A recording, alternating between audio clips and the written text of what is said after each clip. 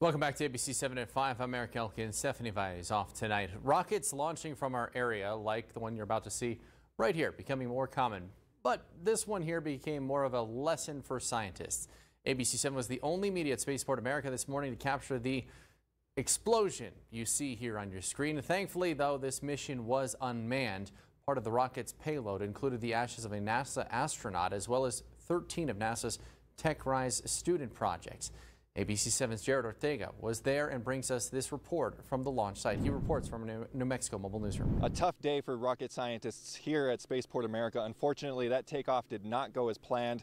Spaceport officials tell me that successful missions are never a guarantee, and today was one of those days.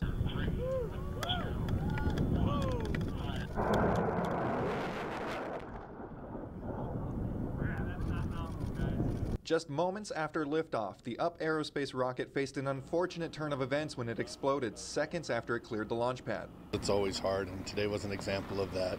When you when you know and you and you reflect upon the hours of work and, and the dedication of so many people coming together, and sometimes flights don't go nominal. The mission was carrying 13 payloads from NASA's TechRise Student Challenge, a program that invites students to design, build, and launch science and technology experiments on commercial suborbital rockets.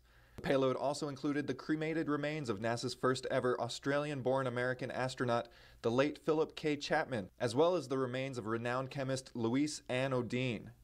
Aerospace officials expressed disappointment with the launch, but acknowledged the hard work from all of the organizations involved in today's launch. The sun will come up tomorrow we will learn more and we will take another rocket flight opportunity. In another example of how hard rocketry really is, even for a company like UP Aerospace, who's had several successful missions out here at Spaceport America, unfortunately today was not one of them.